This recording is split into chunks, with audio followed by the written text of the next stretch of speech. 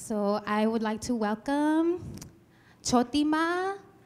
So how I met Chhoti Maa and what just kind of energy that that that brought me to her, that brought her here, is the medicine and medicine and how we heal and how we are sort of moving still through this through this time with like all of this stuff happening, politics, like being a student and being like engaging in how are we, you know, using our space and our energy wisely. So I thought, you know, medicine, you know, music, so important for us to continue um, that healing. So I met Chhoti Maa in Oakland, um, the Bay Area, California. Um, we met at a community center called Quilombo, and we had also a garden happening too that was called Africa Town. And Africa Town in Oakland was inspired by the Africa Town here in Seattle. So unfortunately, Quilombo just recently got shut down. But um, we, that's me and her met there. And so it's like we, we meet in these spaces when we're continuing our legacies and we're continuing this actions, like we still meet each other and we still like are kind of, you know, we're still connected and the medicine that keeps us connected to continue going and growing together as, you know, to fight for justice and to get our justice. Um, but yeah, I, yeah, she's a great MC you know, that's how I met her. Was like, oh, I want to one day I can maybe write some poetry and some emceeing, you know. But this is Chhoti Maa, and I'm excited for the workshop that she's gonna give. I haven't seen it yet, so I'm excited.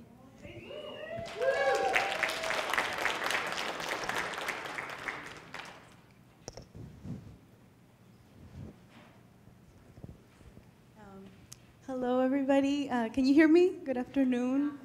Buenas tardes. It's, it's really good to be here. It's my first time um, on this land. Uh, so first, I just want to um, acknowledge the Duwamish people, the Duwamish ancestors, uh, ancestras y ancestros of this land, uh, the plants, the rocks, uh, the waters, the animals, uh, and all the spirits that are in this land that have protected uh, the Duwamish people and that allow us to be here together uh, with this clean air and with this fresh water. Um, it's because of them. So, um, to them, uh, thank you so much for uh, inviting me. I'm very happy to be here with you. Um, so, this um, uh, space that we are creating together today is focused on the knowledge that I have gained um, through my grandmother, through sort of through the the bloodline, but also through my sisters and my teachers. Um, and it's based on um, different indigenous uh, methodologies of healing. Uh, so basically, um, medicina casera, right? Um, home medicine. Uh, and a lot of the concepts that we're going to be looking at today are from teacher Estela Roman. Uh, she published a book called Nuestra Medicina that talks about these central concepts that we'll be discussing uh, so for those of you uh, that are studying Spanish or that are interested in Spanish or that may speak Spanish, uh, does anybody know what apapachando mean or apapachar? Anybody? So, yeah, to hug. Yeah, yeah, yeah, yeah, yeah. So let me get this started. Um, so uh, something that the sister was saying, you know, and the work that uh, the freedom fighter Dr. Uh, Martin Luther King did was decolonial work. What does it mean? It, it means to literally take away um, the different layers that have been imposed on our minds and on our bodies, right? And from my perspective, that means to, uh, to decolonize mean, means also to revitalize the indigenous practices. When we talk about indigeneity, as many of you know, um, all of us at one point were indigenous to some land, to some place, right? Uh, so it means connecting back to that bone, that bone knowledge, that knowledge that's inside in your blood, that's coded, codified in your blood, that knowledge that comes from your grandparents, from your ancestors, from your elders. Um, and so apapachar, the reason that I wanted to start with this word um, is, it's an indigenous uh, rooted word. It comes from Nahuatl. Um, and it doesn't have a direct translation in other languages, although maybe I don't know, it might be that some of you might have one, and I'd be happy to know that it does have a cousin somewhere out there. But what it means is literally what it meant in Nahuatl was to soften with the fingers or to give affection. And uh, in Mexico, what we have um, gotten it to, to be understood by is to, to love with the soul. To love with the soul, not just with the body, right? But to love with the different levels of the, of the being, um, to caress the soul. And it can, and it's an interesting word because um, it can be used as a verb, but it's also a noun. Um, so it can mean um, it's something physical as well as emotional.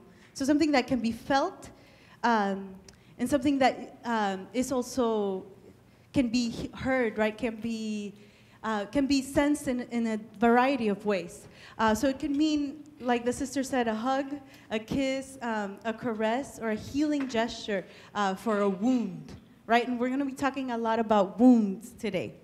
Um, and then it, it can also mean to caress, to comfort, uh, to pamper, to give affection, to take care of someone else. So why is it that I started with this word, apapachándonos, right? Um, and I think that something um, that I do uh, in, in my, my classes and in the workshops and exchanges that I have is I, I want to think about the ways in which colonization affected the most intimate practices between each other. Um, so how did it affect uh, our idea and our practice of love? Anybody? I see somebody over here. I feel like you want to talk, maybe. Maybe in a little bit.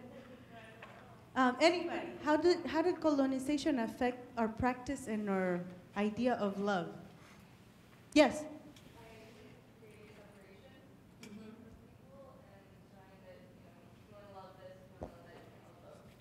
Uh-huh. And, and that could be looked at in terms of, of the construction of race or even the construction of gender, right? Um, within indigenous concepts and in, in, in different cultures across the world, there's recognized that there's more than two genders. There's genders for each of the directions and everything in between, right? Um, so that is definitely one way. Um, any other way that people want to share? No? Not yet? Okay, I want you to, to think about it, and maybe you can talk to the person next to you. Um, I want to, you to think about how did it affect self-love? How did it affect uh, partner love, partnerships, then parenting? How did ideas of colonial love affect parenting and communal love? So let's take um, like five minutes and please talk among each other because I think it's important that we have a, a dialogue. I'm not just gonna talk at you, okay? So if you could please take a moment and then we can share with each other.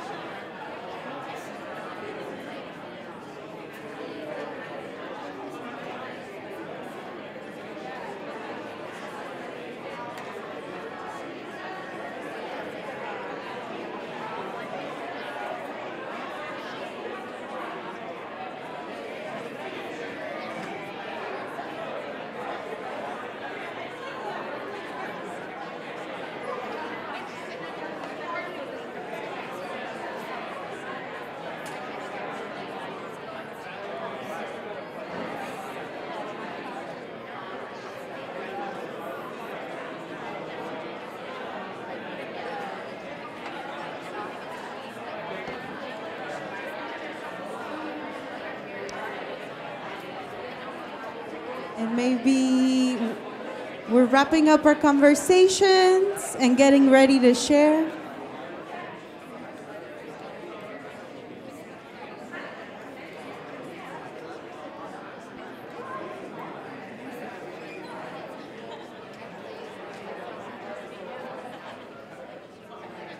And and can we all say mmm? Can we say it one more time? Mmm.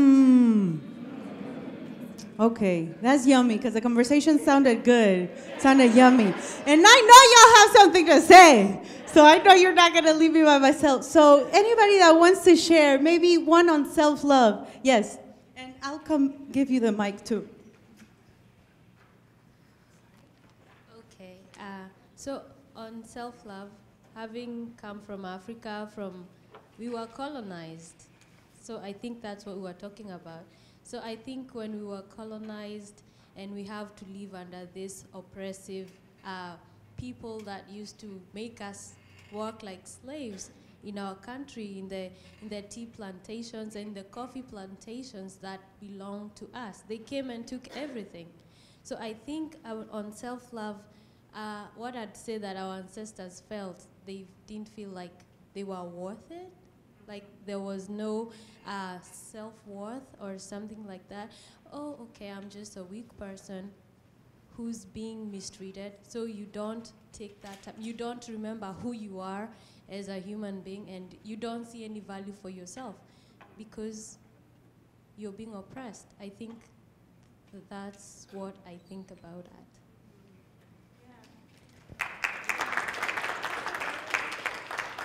Yeah, and I think that to, to add to your point, um, one of the mechanisms uh, was destruction and theft, right? And so we see these big collections and these museums of all these objects of all the people that they invaded and that they stole from, right? And but oftentimes we see, for example, in a lot of the Buddha statues, we see the hands taken away. Why? Because the hands actually symbolize something. And in a lot of um, different African uh, sculptures, the noses are, are taken away, right? And Beyonce, Jay-Z talk about that. You know, you will not take off the nose of, of my pharaoh, right? And so this also um, adds to that, to precisely your point of what you're talking about, um, taking away memory, or attempting, I would say, to take away the memory. Because um, within a lot of indigenous philosophies, uh, particularly the philosophy of um, the elder Malidoma Somé um, from Burkina Faso, he talks about the, the knowledge of the bones, right? The knowledge in the blood, right? Um, anything else that somebody wants to add? Maybe perhaps on uh, partnerships or on self-love, yes? Um, for partnerships, I'm going to take more of like a marriage route. Like, uh, like my sister here, I'm from Africa. And back in the day, we, um, I know they try to push this idea that there's gender equality like in African nations and African, but no, if you actually look in deep into the history, African men and women historically used to see themselves as equals. This idea of a man is superior to a woman was brought through colonialism and religion, which we did not have in our society. Everyone knew the, the role they had to play, and they knew one without the other would crumble. So it wasn't about who is better than who. who it, so we, they all knew that they were essential. And also, we also had these um, polygamous marriages where you had one man who would marry uh, like four wives. And now it's looked down upon because of the ideas that the West is pushing. But if you go back to, if let's say we go and ask our grandmothers, our great grandmothers this, they didn't mind it because they saw those co-wives as their sisters, as like a team. And in certain societies, you'd have less men compared to women. And you know, all these women want their lines and their generations to keep moving forward. And this is something that was villainized by uh, colonialism. And now, you see, like, you have this whole, like, idea that it's bad. And what I usually tell most of the people is that our ancestors knew what they were doing. What we are doing today is based on a certain group of people. Our ancestors knew how to survive given the conditions that they were living in. and they knew exactly what we had, they were doing. So I feel like what we're doing now goes against, and we are the dumb ones now, for just basing our beliefs on a single group of people other than following back on what our people used to do.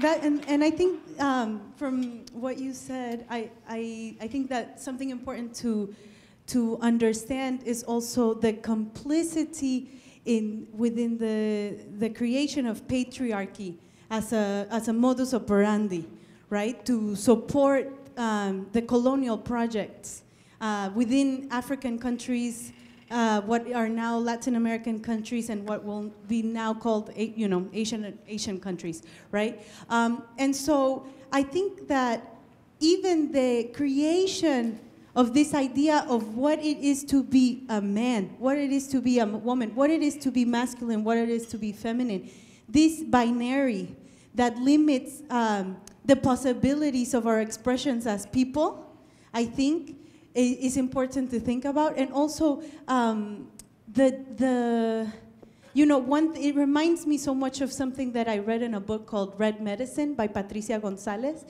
And, and she talks about uh, when uh, she looks at the writings of the Spaniards uh, that invaded uh, these lands, and they say, you know, one thing that they were so concerned about was the power of women, right? And they said, we need to figure out how to displace them within the, the, the position in the community, right? And so I think that is a, a huge part that is detrimental, right? Um, to, to the way, and, and furthermore, we also have to talk about the way in which the land was colonized, how that those same techniques were applied to women's bodies, right? Um, and so then you begin to have children, and, and I'm one of those descendants of, of rape, right? And of that violence, right? And then th those complications then with all of the colonial uh, impositions on our own self-love. So it creates um, a disharmony, right? And each of us within our community are uh, responsible for our part to maintain the harmony. We're not responsible for everybody's work, and that was something that was imposed on women. We're not responsible to fix and tend to everything. We're responsible for our own. But everybody is responsible equally, right? And so this created an unbalance. And so maybe to, to move along uh, and to think about how did ideas of uh, colonial love affect parenting? And we can even think about how does it affect uh, exchanges like this, right, with the position of the teacher and the students. Because um, very much is, it, it, it is connected. Anybody that wants to share?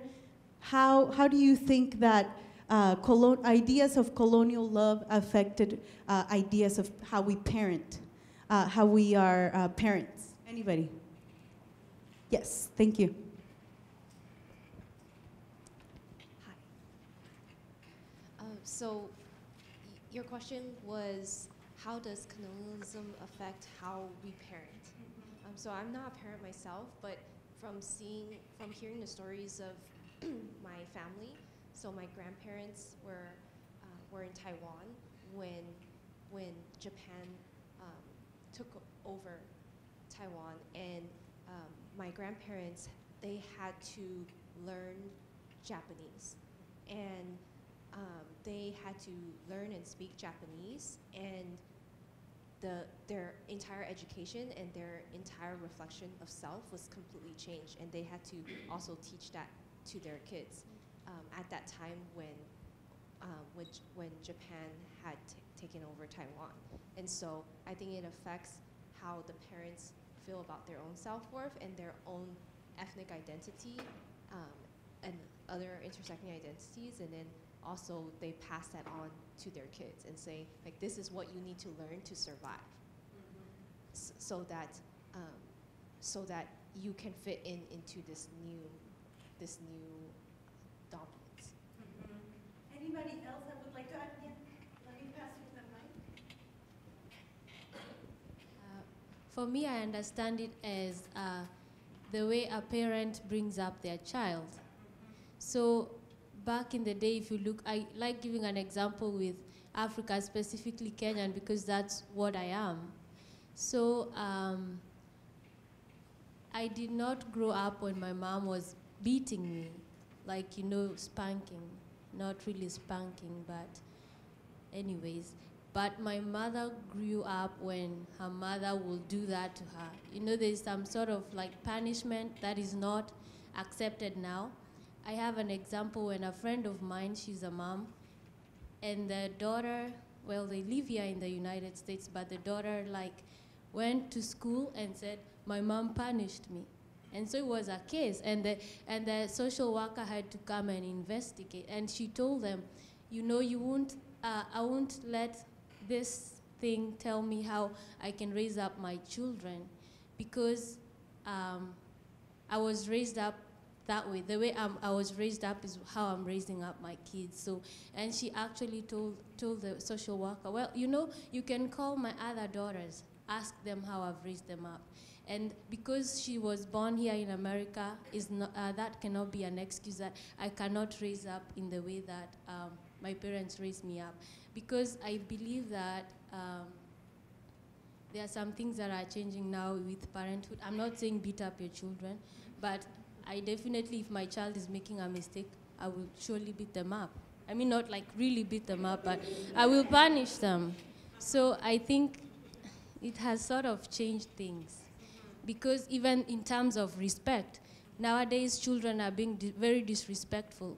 And I see that and I'm like, oh my God, I don't know what I will do to my children. I don't have any right now, but well, I will have some. But I am saying how I respect my mom and how she respects her mother.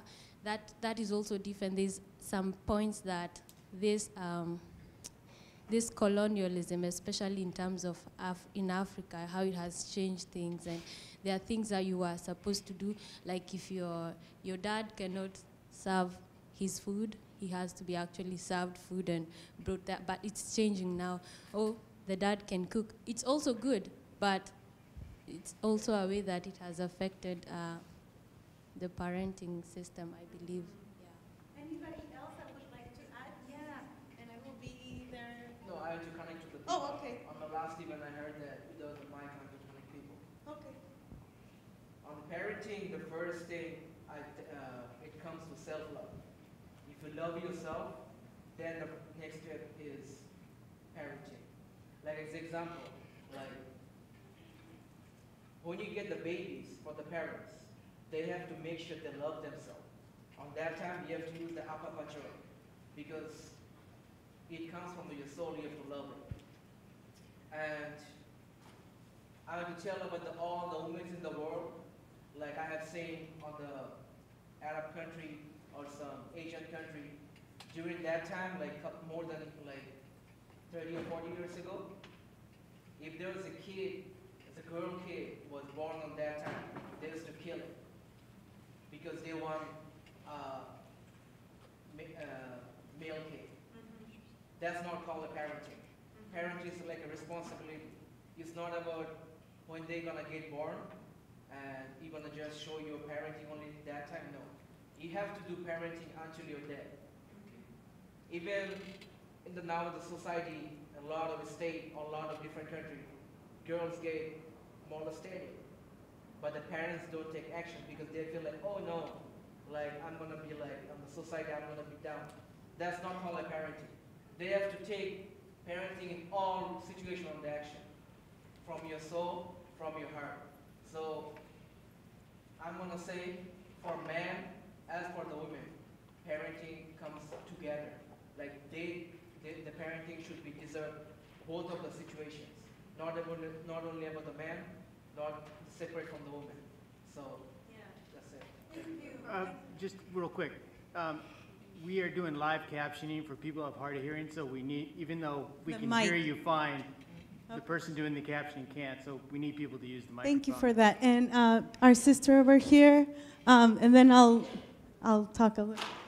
And then my frame of thinking was more um, the colonizers were from European countries, so it's more individualistic culture, so more of, you know, thinking about your own self. And a lot of the countries wi- across the world that were colonized, they started out being um, community culture. So everybody, you know, um, everyone grouped together. The whole "it takes a village to raise a child" thing. It was very true for a lot of um, countries that were colonized, and so that kind of took away our us grouping together and raising our kids together as a team um, versus just being only the mom's job or only the father's job or who, uh, one person to raise however many kids you have.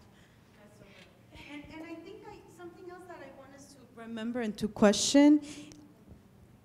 Oh, thank you. Um, also what happened to the um, for those of us that and for, you know just for people to think about what happened to those of us that come from colonized places.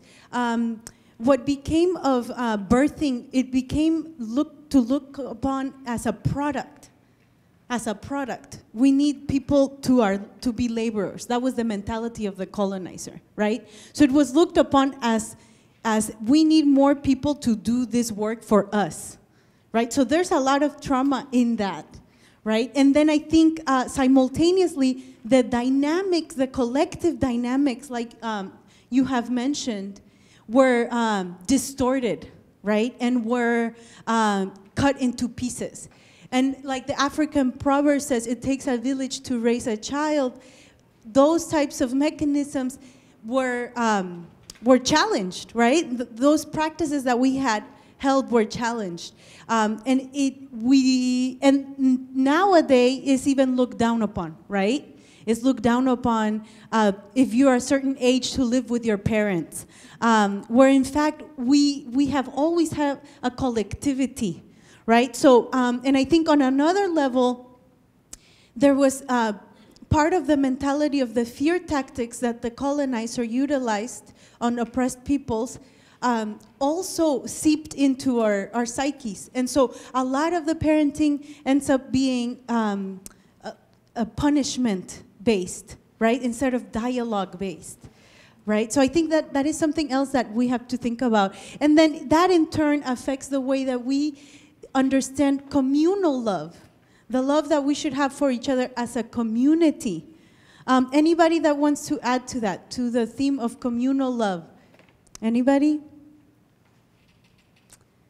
I think that what, one of the first things that uh, a sister said over here um, was the creation of these uh, different categories, right? Um, and so to move right along with the, the, the, um, the presentation. So colonization in, in the perspective of a, of a person like myself, we, we think of it as a susto. So a susto doesn't necessarily have a translation either, but a susto, what are the symptoms of a susto? It's, it's, it's like fear, but it's not fear. It's like a mixture of fear and shock.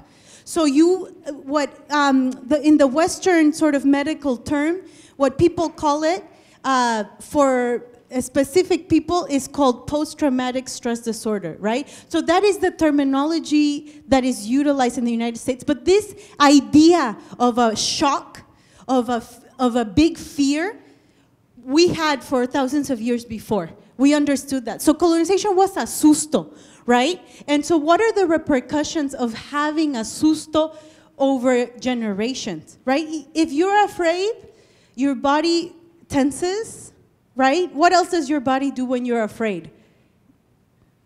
You tense. Mhm. You, it's harder to digest.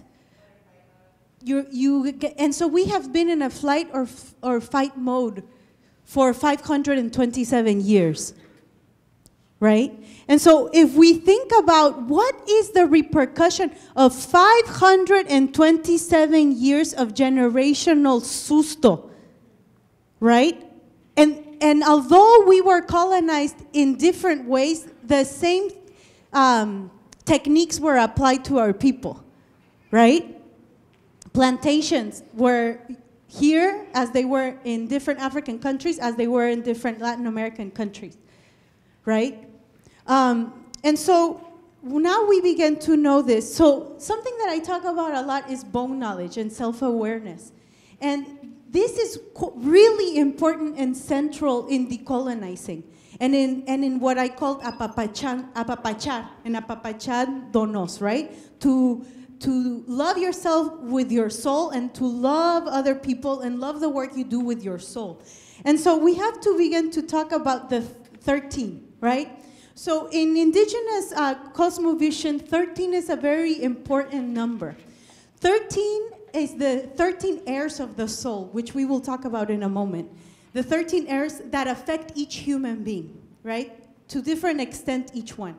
Um, also, the 13 dreams. In the cosmovision of the Mexica people, um, each time that you go to sleep, you are in the in the dream world, in the spirit world. And in this place, you have 13 dreams. You might only remember one, or maybe some of you are like, oh my God, that makes so much sense. I have so many dreams.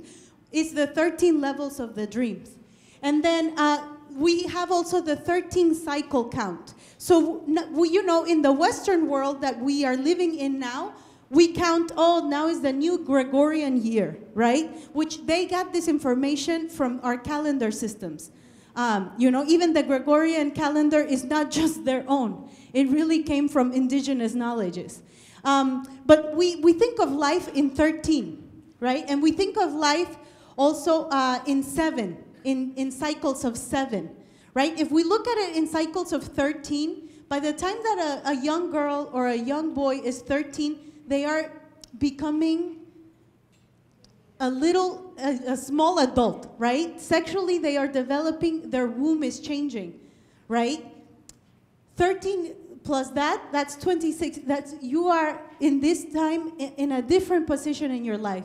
And we keep adding those 13 year cycles, you know, up until 52, which in uh, Mexica uh, philosophy is when if, you're if you have done the right work, your community will acknowledge you as an elder at 52 years of age, right?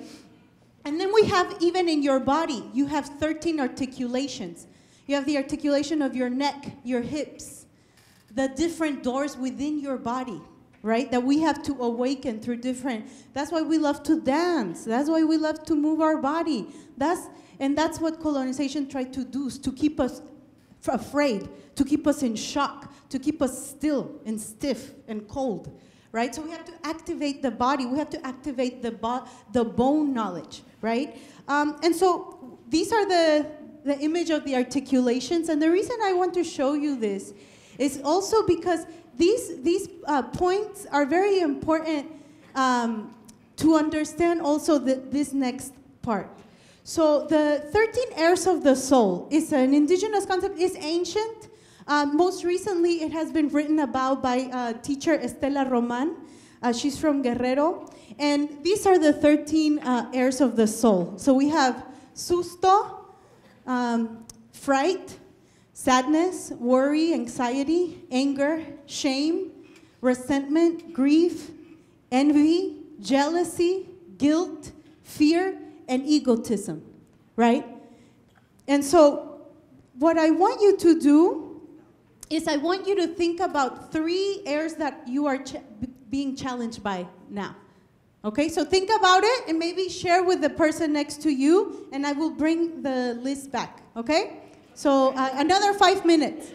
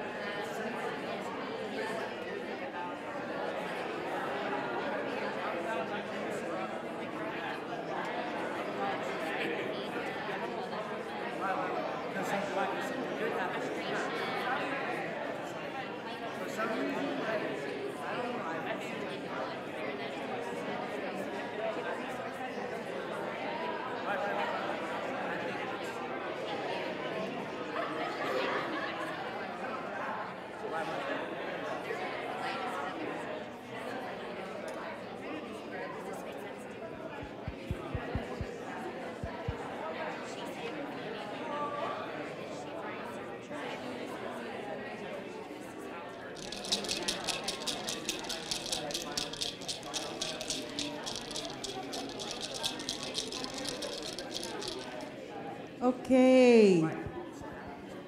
Thank you. I love that y'all are really active. It's, it's great. That is the only way. Um, okay, so anybody that would want to share, I know it's something that is uh, sensitive, so I'll go first. Um, within my family, I think, and, and being um, uh, a woman and being from Mexico, I think that there's a lot of shame.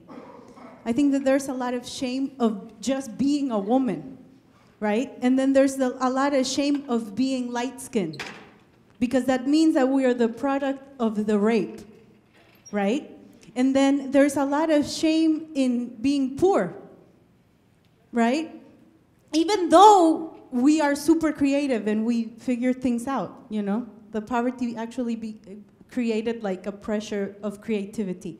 Um, but for me personally, um, I have been working, one of the ones I've been working on is shame and, and, and talking to that air and to, to be able to, to not be controlled by it. Uh, anybody else would like to share?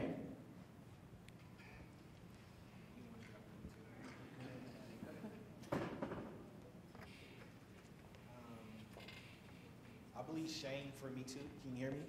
Check, check, check, check. Um, shame for me, I believe, um, like the shame of the things that I did I was younger. Um, I'm definitely could like carry myself in a more upright way, and um, didn't have a lot of a lot of like positive examples. So like my examples was like the the rappers and the people in the ghetto and stuff like that. So I believe that shame, like, well, I could have did something different, and I'm like shame, like shame of shameful things like that, and then resentment, like this whole week, even though like the killings and like the slavery have been so long, so long ago, it's still history though, so it still lives today. So resent me about that because it's like those people was helpless. You know what I mean? Still to this day, we still are helpless in, in all types of ways. So yeah. And then my brother, he had a good point too, so I'm gonna let him share too. Hey, that's right.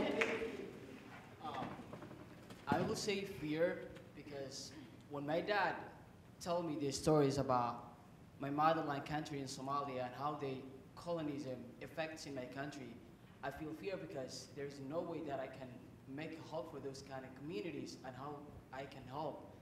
And I feel sad because as a young, like there's no way that I can know where the problems come out as a colonialism for my country. So that's what I feel. Mm-hmm. That's right. And I think something that I want to, before other people share, something that I want to ask you to think about is if you think about one of these airs that is really present or has been present in your life, and maybe even in your family line, in your bloodline, I want you to think about specifically for yourself when is the first time you felt sad? When is the earliest time you felt guilty? And go back to that memory and go back to that part of yourself and talk to that part. And work through that. There's a way for us to work through these because the, these are essentially teachers. You know, and sometimes we become really angry at them. I would be so angry at my shame. Then I would just elevate the other air. So I think we, we have to have a dialogue with that because ultimately, um, within indigenous philosophy, you know, there's it functions like eggs. Right? Um, you have your body, and it, your body has a spirit, and the spirit is so uniquely you. Nobody else has a spirit like you. And then you have your soul, which is uniquely eternal, connected to everything, right? But if you have so much air, so many airs inside you, your spirit and your soul don't have enough space. And sometimes, if it happens in a traumatic event, in an accident, a little part of you might leave. They don't, it doesn't feel at home in your body, right? So you have to call back those parts. And that's the work of remembering. That's the work of decolonization. We have to call back. We have to remember. Okay, anybody else want to share? Yes. For me, I would say guilt, and that's because uh, as I mentioned earlier, I'm from Africa, and my life in Africa was, would be what you guys would call privilege, you know? Like my mom works for the United Nations. I always have food on my table. I have a nice bed to sleep in. And just like how um, it's, it's like I, you live in this sheltered life where everything is going so okay and everything is perfect. You have television, you have a PlayStation and all this stuff. And then you walk out and your neighbor is struggling to keep like a fire warm and like you're seeing I, I, I remember I used to go to this really expensive school and sometimes on my way to school I'll see these small kids with like tattered like uniforms walking to the schools that they were going to and their schools were terrible and I, I used to feel guilt because I was like, what did I even do to deserve the life that I'm living? Like, I didn't work for it. I was born into this. And these are people who look like me, who are struggling. And I wake up in the morning and I don't even have to struggle for anything. So there's that sense of guilt, you know? And then there's the worry that I feel like I can, I, I'm, I'm given all the tools to maybe change to work so that I can make their lives better. But then I'm worried that what if I can't make it? What if I can't end up achieving that? So there's always this like constant worry at the back of my mind. Thank you for sharing.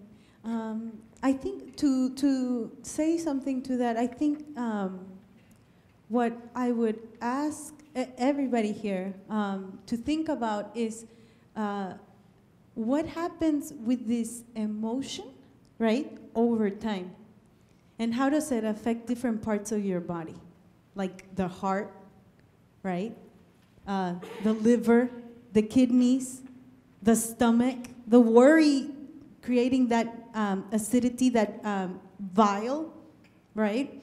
Um, or the sadness or the shame pushing your shoulders down. Literally um, changing your physicality, internally and externally, right? So thinking about first acknowledging, right? Acknowledging uh, these errors and then I think the second part is thinking where is it in your body? Where do you see it uh, expressed? So I want you to think about that for another five minutes. Okay, where do you see these errors expressed in your own body? And is there a pattern in your family? Right? So another five minutes. Um, and maybe if you can do it in, in pairs, or you, I, I, another thing that I would suggest is if you have um, a piece of paper, drawing a small diagram of your body, or thinking about it even. Okay, so five minutes.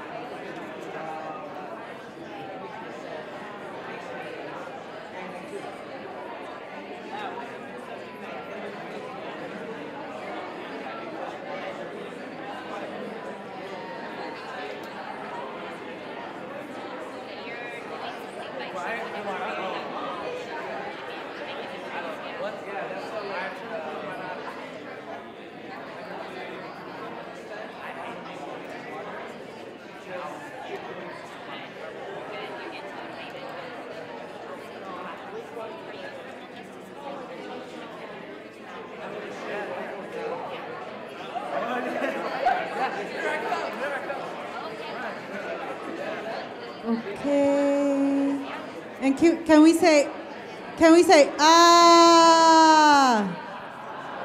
One more time, one more time. Ah. You know, that's how we, in, in, in Spanish, we say, ah, when we understand something. Ah. That's, that is one way. Um, okay, so if people want to share, uh, maybe where in your body is this air expressed, right? Because when we think about um, indigenous medicine, we understand that it affects on three levels on the mental level, which connects also to emotions, um, on a spiritual level, and on a physical level. And simultaneously, healing, you're healing um, those three parts of yourself as a, as a being, but as you're healing, you're affecting the dynamics in your, in your group, in your, that be in your family or your friend group. And that also changes, um, has repercussions in your ancestral line, right? Because sometimes you may be like, I have this sadness that I can't explain. Is that what y'all were talking about? And it's like, it might not be yours, but you are the one that they chose to work through that, right? Do you want to talk about that a little bit? No? Okay. Okay, thank you. Um, anybody that would like to share? Uh, yes?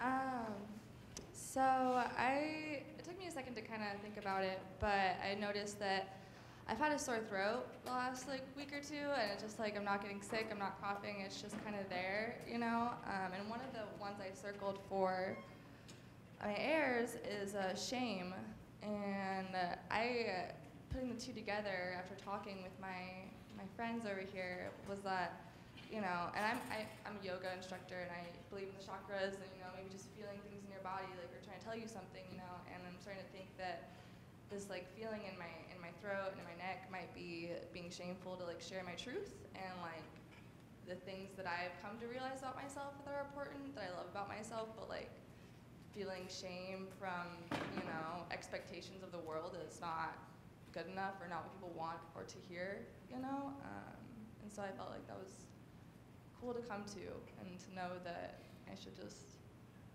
let it go. Yeah, and, and if we think also about it, what is here? You know, physically is the thyroid, which uh, also is responsible for the hormone, hormonal balance of the body. Um, in uh, Mexica philosophy, we think about it as the butterfly, right? Um, and so you have to be able, the butterfly has to be able to like transform so it can move its wings. Otherwise, it cannot do its job, right? And then you have a knot. And that knot can become cancer later, or it can become phlegm. First is phlegm. First is just like a little ache. Then it's phlegm, right? And then is it could be cancer later on if you don't work through that. Uh, yes, or here in the back.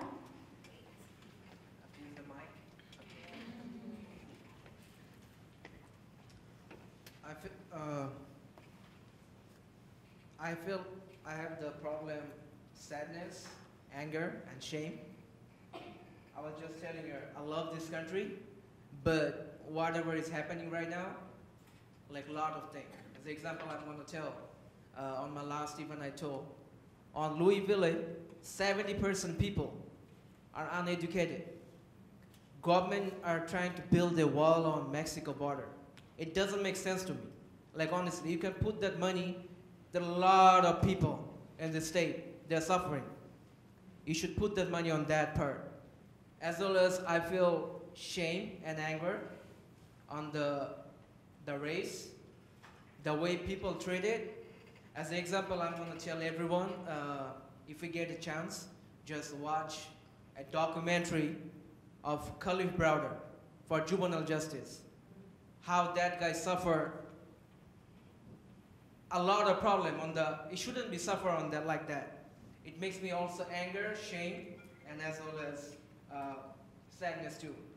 For that shame, like I decided myself as a human being, like when I was watching the documentary, I could not stop my tears.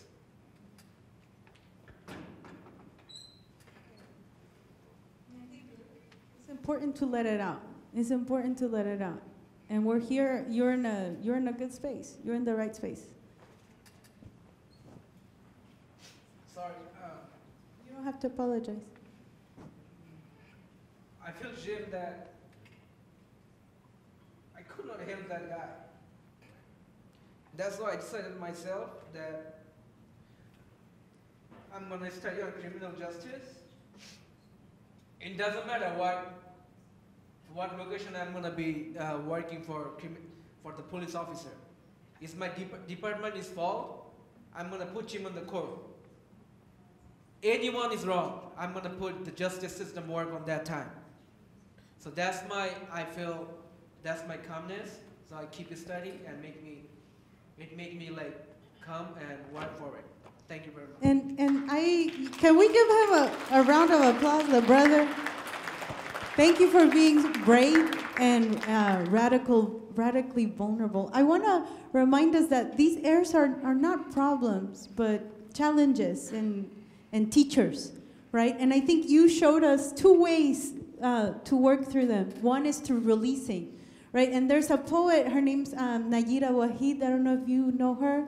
Uh, she wrote Salt. It's a great book. And she says, if you don't allow your own water to heal you, how can we connect, right? We have our own mechanism of water. If you cannot release your water to heal you, then, you know, and so I, I, I applaud you for being open and for allowing that to, to come out, right? Um, and on another level, I think that in connection to what the sister said earlier is um, we might not have been able to be there on this occasion or, you know, when uh, Dr. Martin Luther King was assassinated or uh, in all of the other injustices that have happened and that have created the history of, as we know it today. But we are present now. And we see different things happen in different moments. It could be in the metro, it could be in your own house, right? It can be in a classroom. And what, what do we have to do? We have to activate the, the throat. We have to activate the words. We have to challenge that silence, right? So already you shared with us two communal remedies uh, of how to um, learn from these uh, teachers that we call the airs. Anybody else that would like to share? Anybody else that, that feels compelled to share? Anybody? Yes. Thank you. Thank you for being open.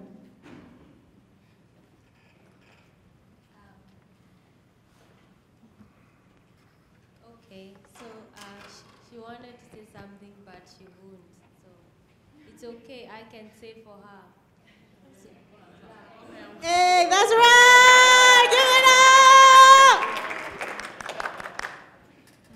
Yeah, for me, uh, it's just the, the anger that people hear, like this single story that not, like American have about Africa, you know. So I remember last quarter, my friend asked me, "So where you come from?" I was like, "Oh, I'm, I'm from Congo," and she told me, "Oh, what do you do to come here?" I was like, "I get a visa and come here." So okay, now asking, "Do you use the car? Do you walk or something like that?" I was like, "What?" Do you think in Africa we don't have airplane? No, because in Congo they just like kill people, like people die every day and all the stuff. So it's just like the anger that I have, like people just have the, the single story, you know, the part of story and just like see Africa, see Congo as a bad country, you know, something like that. In, in what you just shared, um, that's another uh, remedy, right? Uh, storytelling. Uh, because um, I don't know if anybody here has read uh, Women Who Run with the Wolves by Clarissa Pinkola Estés. Uh, she talks about how stories are medicine. So stories can be poison, right? And for example, the stories told by Trump or um, certain th- these types of stories of, of an Africa that is not existent, right? That is poison, right? But we also have our own stories, and those are that is medicine. So it's also we are capable of activating our words to create that medicine and to share that medicine. You know, that, that's why oral tradition in a lot of our communities has always been so important and so central to us as a people. And, and to, and, and, you know, in the way that we respect elders, and the way that we respect the word, like hip hop, for example, right? Or now, you know, the development of trap, you know, like, but it comes from storytelling, comes from, from articulating your experience, right? So that's another remedy. Um, in terms of, of um, how, how we would apply this, you know, to create collectivity, I would, I would want you to, to think about it in, the, in, a, in a multifaceted way. What would this collectivity of loving with the soul look like? What would it taste like? What would it feel like? What does it sound like? Right? And I want you to, to think about that one more time with the people around you. If you want and you're brave enough and you want to go talk to somebody else, I also encourage that. And then uh, we will close the discussion with uh, questions. Yeah, so another five minutes to, to think about how does applying this knowledge, how could it create collectivity? And how can it be expressed in a multifaceted way?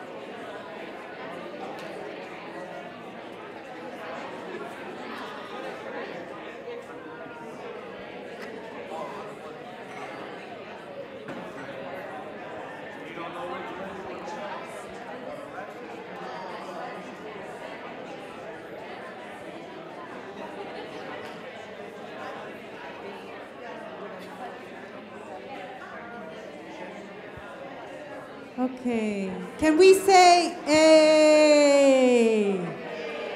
Can we say A? A? Beautiful. Okay. Uh, anybody would like to share? Maybe I want to I want to invite somebody that hasn't spoken yet. Somebody that maybe is a little shy but has a lot to say. Somebody else that has not spoken. Somebody that not spoken yet. Yeah? Anybody? Anybody? If not, I'm gonna, I'm gonna come and pick. I'm gonna come and pick. Oh, okay. Somebody over here. I saw somebody that really want to talk over here. Yes. Thank you. Thank you. Thank you.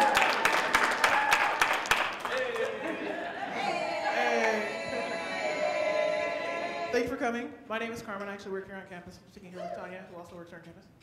Um, I actually had a question before what does lasting collectivity look like, feel like, what have you. I was wondering what lasting collectivity looked like. I think first we need to recognize what that looks, feels like for us internally before we can acknowledge or spread that to our families, our communities, and so on. And I think I think that's a that's a huge thing, you know, to think about um, how we work through the, those teachings, those challenges, um, will in turn affect the way that we socialize, that we share ourselves with the world, right? I see you over here. I know you have a lot to say. And you know, I'm only here for today. And I want to hear people's voices. Thank you.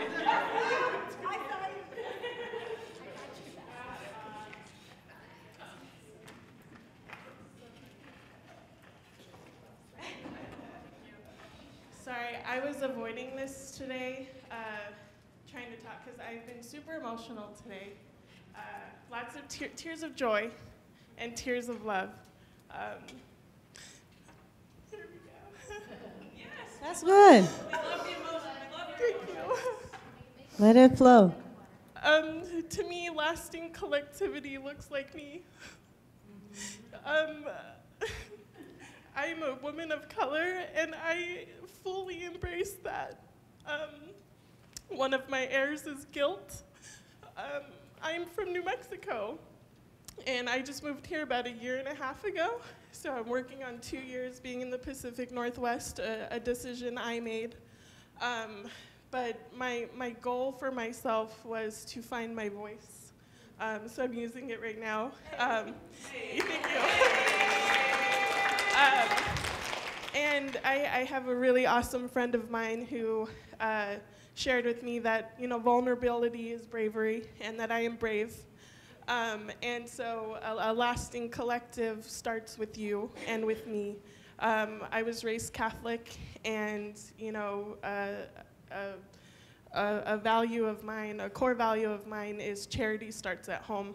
And my parents really instilled loving each other, whether you're in my family or not, you are my brother, you are my sister, and that's how I view each and every one of you. Um, and you know, I don't have a lot of money, but I have a lot of love, and I have a lot of respect for people and you know i can only do what i can do and hope to god and the universe that that will affect you to do nice things for others and you know show by example um, i just have a lot of love and respect to give to people because we don't have enough of it. And it's part of that, that resentment that anxiety all of those negative feelings and stuff that was listed on the board there.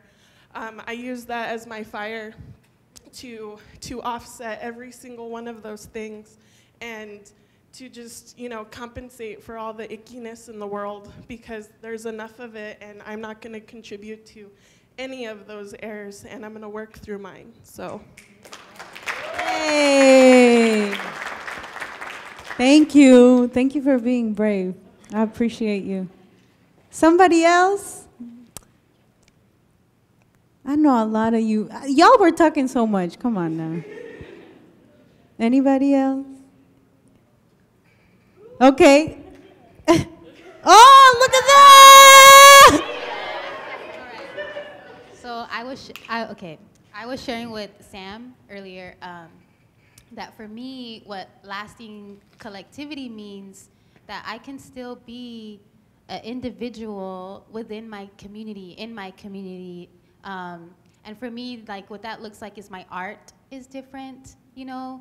the way I create is different. It's not going to be the same as the next person. And what it looks like, or I, I would say, um, what it sounds like is me being able to share and articulate what I make and why I created this or what I felt when I was creating this, you know, and it's kind of like speaking that truth, right? And what it looks like, or I would say what it feels like, it feels free. It feels like I can be like autonomously me, you know, and not having this like, this voice or like this, um, this oppression, right? That's telling me like, you can't create that, you can't do that, you can't taste it that way, you can't make it that way, you know? It's like, for me, that's not what a lasting collectivity looks like. For me, for me, it looks like, you know, very, very free and it feels like liberating. It feels like the Africa Town garden, you know? Like, it feels like fresh dirt, fresh earth. It smells like fresh earth, you know? And like, um, working together and you're working on your garden bed over there. I could come help you. You can come help me work on my garden bed over here. You know, that's to me what lasting collectivity like looks like to me. Mm-hmm. Sounds like. Anybody else? Any of the men that have an intense sight that have been like talking to me with their eyes but haven't spoken yet? Sometimes y'all be shy. No? Nobody else? Oh, the sister. Yeah. Thank you. Thank you for waiting and, and letting other people also share. I appreciate that. Of course, of course. I want to hear everyone else too. Um, I, I appreciate you touched on the vulnerability aspect because I think that is what lasting collectivity looks like is vulnerability like from everybody and lack of judgment on other people and on ourselves too because I think one thing that has happened with all this colonization is taking away our, our power and taking away our love for each other and you know people lifting each other up instead of comparing and judging and you know i'm better than you or for this reason. Like no we're both great for individual different reasons. Um, and you know like women supporting women men supporting women women supporting men like just more interacting between you know those who normally would push each other down because i feel like a lot of our country is built on competition and you have to work really hard to show your worth uh, I don't think that's really accurate. I think, you know, being soft and gentle and being a caretaker or, you know, sometimes just doing nothing is great too. Um, so just a lack of judgment and more vulnerability from people so we can just see each other more. Yeah. You know, in one way that in, in Mexico we say, I think, we actually say, yo siento que. I feel that. That is a way that we say, you know, uh, functioning with this brain, the stomach, right? That's the second brain. And it looks similar. It's a structure that looks similar, right? It has a lot of pathways and, um, yeah, and they're connected. They're connected to each other. Um, okay, so I feel like now is a good moment to open up uh, for questions. So I think that if you have that question that you're like, I just want to ask, but I don't know, but maybe I want to ask. If you have something specifically related to one air, um, or if you have something specifically related to something that was shared that you want some clarification or a little bit more information on, now is the time. Any questions? Yes. Thank you. Patience. Lasting collectivity looks like patience. On the list of airs, there was both fear and fright, and I was wondering if you could differentiate between them. Yeah, that's a great question. So, um, okay, so fear. Let's think about it. Fear. You could be, I could be afraid. You know, I got a bad grade, let's say, right? Let, let's say I'm a seven year old uh, Brenny, right? Myself and seven year old, and I got a bad grade. I am afraid of the whooping I'm gonna get when I get home, right? Now, um, fright. I was in two car accidents. That's fright. Something sudden, something that happened quickly, right? Um, and on a physical level. Now, susto, because there's actually three different types of fear. Susto goes even deeper, right? So you can even think about it as um, the different levels of the skin. Fear is like the little hairs, right? And when you're afraid, sometimes the little hairs stand up because they're sensing, because our hair actually helps us to sense, right? When, when you're, uh, like, when you have fright, oh, maybe your body gets tensed. You know, the temperature changes in your body. You feel some type of way. When you have susto, it's almost like a paralyzation of us of sorts, right? Um, and if it's not treated, it can really affect uh, the soul. And it can really, and, and it could be like this. The symptoms of susto are like this. Um, you don't quite feel your, like yourse yourself. You don't have as much energy as before. The things that you love to do, you can't do them anymore. The food doesn't taste the same. And you keep thinking about something that happened in the past. That's because you had a susto and you stayed there. A part of your soul stayed there. Doesn't mean that you don't have your soul. The soul is very complex. A little part stayed there. Or it didn't feel comfortable to be inside your body because you yourself are not comfortable inside your body. Right? So those are the different ones. Thank you for that question. That's a great question. Any other question? And, and maybe to talk a little bit more about that, actually, because now I'm feeling it. My ancestors are like, no, girl, you need to tell them a little bit more. Um, um, with susto, we have different ways of treating fear, right? So, for example, let's say one level of fear is when a little girl, let's say there's a little girl and she's your little cousin or your little um, niece, you know, and she was running and she was doing all these types of things, exploring the world, really excited, really the way we should act as humans, right? Something happens to us in the, in the educational system that fucks us up, right? Um, and something happened, she did not see something on the floor, and boom, she falls, right? She has, she has a little bit of fear, right? She starts crying and crying. Something that we do for that, a little bit of something bitter Something bitter brings you back to the body.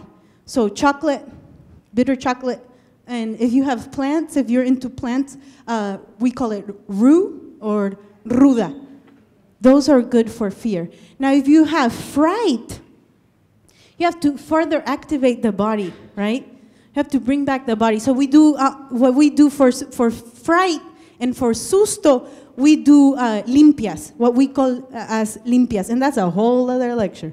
But, but um, limpias, essentially what it is, it's a cleansing.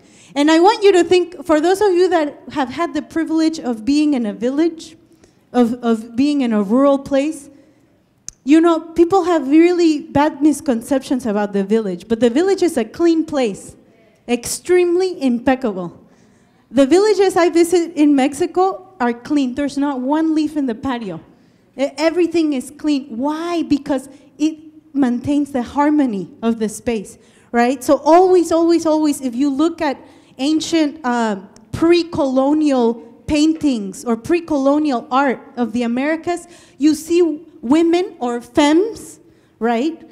Maybe they were a, a different gender. You see them with a, a broom, right? And then the broom got absorbed and colonized, and then it became the instrument of the, of the witch, right?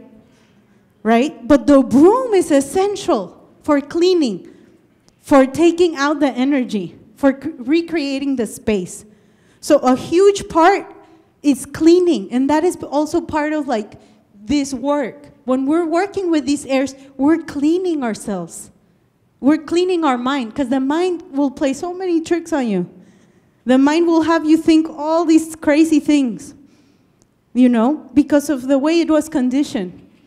It's not the fault of the mind, it's replicating a pattern and it's letting you know something, it's putting something on alert. Hey, pay attention to this. But at the same time, you know, the mind is so controlled by egotism. So you have to, you need a little bit of your ego, but you can't let the ego take the place of the soul. And that is the problem in Western culture. That the, the, the ego has displaced the soul. Right? Any other question that you may have? Um,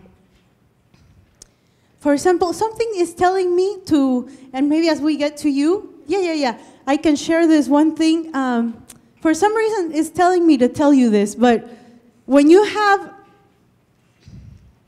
when you have sadness, right, or what people call depression, um, something that we used to do in back in the day and still to this day is we uh, put chiles on the fire. Why? Because chemically the the compound in the chile it activates, right? Um, spices activate activate the stomach and activate the energy, right? If we look about it energetically, and an active stomach and an active body is an active mind and a happy soul. So um, actually, like putting chiles on the fire and smelling that helps with depression, helps with sadness. That's like one small trick. All right, I won't be as intense this time. Um, I think I let it out. Um, I'm, I'm curious, do you have any, like, as the true librarian that I am, do you have any resources that you could um, maybe offer up, like, you know, I don't know, 101 level kind of stuff so we can start growing our minds and our yeah. hearts and our so souls? one of the books is that this one is called the writer is Estela Roman, and the book is called uh, Our Medicine, Nuestra Medicina. Unfortunately, or maybe fortunately, it's in Spanish, so you have to learn Spanish to read it, um, or you have to have a Spanish bay or a Spanish-speaking bay. Hey, be like, will you translate this chapter for me? You know, maybe you take them out on dates and you get one chapter translated each day. Or you or you just learn Spanish, you know? It's spoken in 22 countries, at least 22 countries. So, you know, it's spoken in a lot of places. Um, the, another book that I've mentioned is, so I, I, I am really influenced by these writers. Um, Estela Roman, um, Malidoma Patrice Somé, he is an elder from uh, Burkina Faso, from the Dagara people, and his book is called Ritual. It's from the 1990s, but it's a really good book. It's small and powerful. Um, another book, uh, Red Medicine, talks a lot about birth, birthing, the womb, the ceremony of birth, and even how that became traumatic and how that gave a lot of us airs, right? Those of us that were born in a violent way, right? Um, or with a lot of obstruction, you know? Um, and then uh, I would also recommend uh, Women Who Run with the Wolves by Clarissa Pinkola Estés. And if you want to get that list later, I'm, I'm going to be here, but those are some of them uh, that will help. Um, yes, and, and I think another one that is not a book per se is talking to, if you are able to, right? Depending on the dynamics and what you need. But if you're able to talk to your elders, and that could be the ones in your bloodlines that have some sense, or because there's some that, ooh, man, they just were, ooh, hella polluted. I love them, but from far away. Uh, boundaries are important. Or the elders that chose you and you have chosen, because those are, you know, we have all different types of family. We have blood family, we have chosen family. Um, so those, I, I think that's the foundation, the, the elders and, and your own intuition. That's the, the foundation there. Like, do what your stomach is telling you to do, right? Um, another thing uh, that helps with, uh, with sadness is actually, and this sounds like a very simple thing, and my grandma would always tell me this. She was like, es que tú comes a deshoras, da, da, da," you know. What it means is you, you need to eat at your hours. You know, it's so simple. It's so simple, but for some people can be so difficult. You, you know, it might be 1 p.m. and you haven't eaten anything. Maybe you haven't even had water, you know? Or you all you had is a bitter cup of coffee. How are you going to sustain your body like this? So, eating at your hours, eating when you're hungry, paying attention to your bodily fluids, letting your bodily fluids flow. Don't hold things in. If you have to go to the bathroom, go to the bathroom. You know, in the it's it's a weird thing, but the education system is so creepy because they're like, no, you cannot go to the bathroom.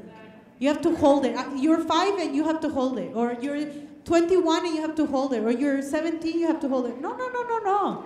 You have to let things flow out. Retaining fluids or retaining your bowel movements is also indicative of retaining emotions, right? And over the long term, it affects other parts of your stomach, other parts of your organ, and it can poison you, literally. Can you know? I mean, urinary infections, all types of things, you know, or colon cancer, even like if it gets to that level. But that means like releasing things when they need to be released. If you feel like you're burnt out and you need a break, don't keep burning yourself out. Take a break. You know? Don't put things, oh, I'll do it, I'll get to it, I'll get to it later, I'll in the summer when I have more time, or oh, when that happens, in the next week, oh, in the weekend, or in that other time. No, no, no, no, no. You're making an excuse. You have time for Instagram, you have time for your health. You know? Any other questions from anybody? Yes. The sister's coming to you. The sister's coming to you. Maybe raise your hand again. Thank you, brother.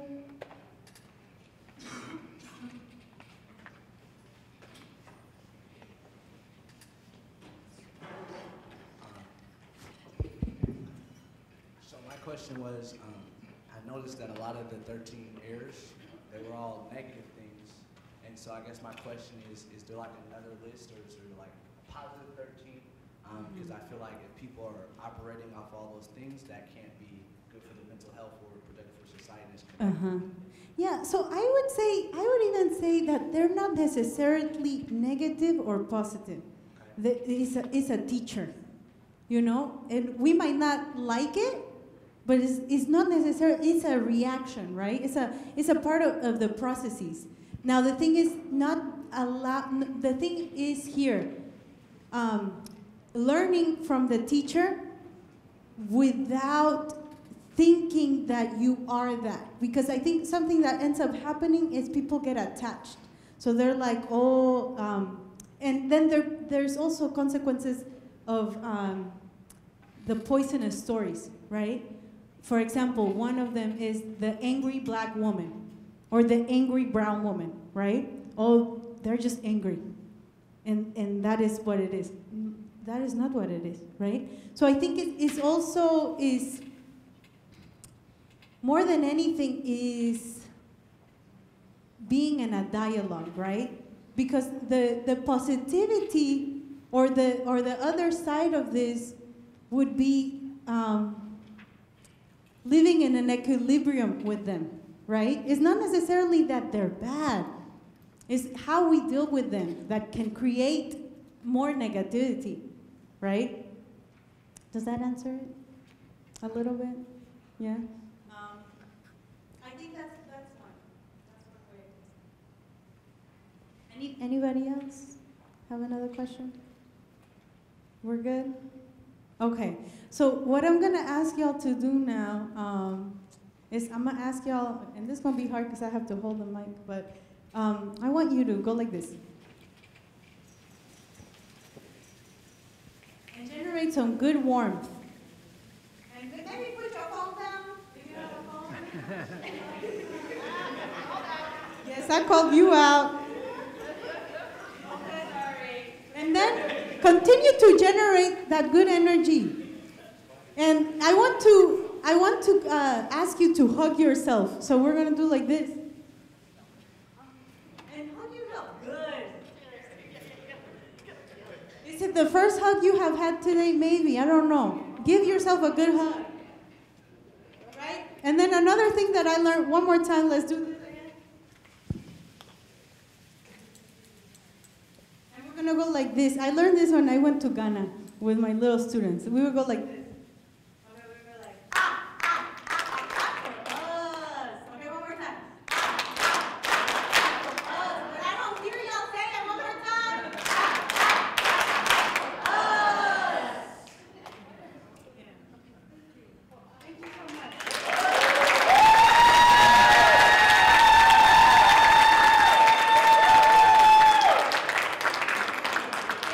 I'm not sure how we doing on time. Does, is, does somebody have the time? Oh, you, it's three. Okay. Well, I was going to sing like some songs to you, so I'll just do one little tiny one. Um, because I'm a musician, but you know, I think it was important the conversations we had. So I, I, I I'm happy that we shared that. Um, but we have this one. Uh,